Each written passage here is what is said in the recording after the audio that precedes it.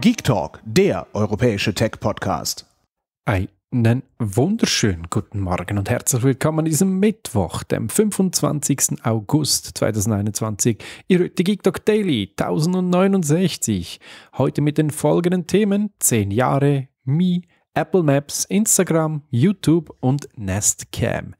Zehn Jahre ist es jetzt her. Gestern, um genau zu sein, hat Steve Jobs sein äh, ähm, CEO-Posten abgegeben an Tim Cook und seither ist er am Ruder.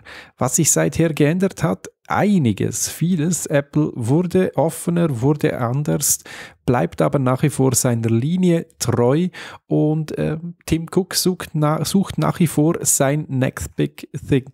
Next Big Thing. Das dürfen wir gespannt sein, was das sein wird. Thema Auto ist immer wieder mal da äh, im Gespräch. Thema VR und vor allem auch AR, AR oder Mixed Reality, was auch immer, eine Brille. Ich denke, in den nächsten ein, zwei Jahren werden wir da sicherlich was sehen. Seit den zehn Jahren oder in diesen zehn Jahren hat er es auf jeden Fall geschafft, den Wert von Apple um 1000 Prozent zu steigern. Schon heftig. Ja, wie sich die Zeiten ändern können und wie so ein Unternehmen explodieren kann. Dann gibt es Neuigkeiten zum Smartphone-Hersteller Xiaomi. Gut, die machen nicht nur Xiaomi, die machen vieles anderes auch noch. Und vieles davon hat man bis jetzt unter der Marke Mi, also MI, großes M, kleines I gemacht. Auch die Stores etc., überall ist dieses Ding drauf. Man äh, hat es suggeriert mit Mo Mobile Internet oder mit Mission Impossible, was auch immer, ist durchs Netz gegeistert. Und jetzt soll es anscheinend zu Ende sein damit. Man möchte sich von der Mi-Marke trennen. Wie genau das, das passieren soll und ob sich das auch auf das eigene Android, also das Teil, was Sie oben drüber stülpen bei Android, das Xiaomi MIUI, MIUI das werden wir sehen, vielleicht am 15. September beim nächsten Event, wo sie ihr neues Flaggschiff-Smartphone vorstellen, könnte man vielleicht schon ein bisschen mehr dazu wissen. Wer in Apple Maps unterwegs ist und da sich Restaurants oder andere Geschichten anschaut, Museen etc., der bekommt normalerweise Bewertungen aus dem Hause Yelp.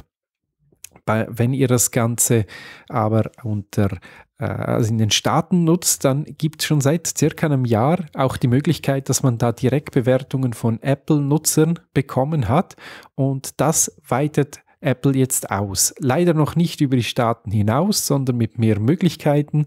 Man kann jetzt einen Daumen hoch und runter geben, so einen globalen Daumen und dann ploppt ein weiteres Feld auf, wo dann steht ähm, über alles Daumen hoch Food und Getränke, Daumen hoch, Daumen runter, der Service, Atmosphäre etc. lässt sich alles bewerten, plus auch ein Foto hochladen. Ich bin ja mal sehr gespannt, wann das dann auch zu uns kommt.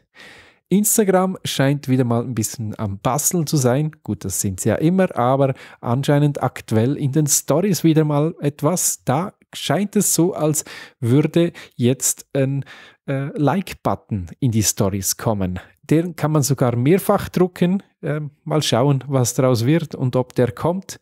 Würde dir Daumen hoch und so weiter nutzen. Ich nutze da immer die Emoji-Geschichten. Was ich jetzt ziemlich unberuhigend finde, ähm, hier auf der Seite, wo ich gerade bin, hat sich die äh, Werbung neu aufgeladen oder aktualisiert und jetzt wird mir Xiaomi-Werbung angezeigt. I, Google, ja, hört halt einfach mit. Da sind wir aber gleich auch noch bei Google, das Partnerprogramm. Ich habe die Woche, glaube ich, schon mal davon gesprochen, wird ab dem 1. November mit einer größeren Neuigkeit kommen, nämlich all diejenigen, die ins YouTube Studio rein möchten, also da, wo man sich äh, die ganzen Zahlen herholen kann, die Videos verwalten etc., der muss zwingend die Two-Step-Verification aktiviert haben. Wenn ich Google wäre, würde ich das generell für alle Konten machen, dass man da nur noch so reinkommt und nicht nur für die Creator, aber da ist natürlich nochmals wichtiger als beim normalen YouTube-Konten. Ja, habt ihr Two-Step-Verification aktiviert? Ich hoffe doch schon. Ansonsten wäre das jetzt gerade eine gute Gelegenheit. Ich wünsche euch einen schönen und erfolgreichen Mittwoch und wenn ihr mögt, gerne in der nächsten Episode wieder. Bis dann, euer Pokipsi. Tschüss. Hört mehr Geek Talk.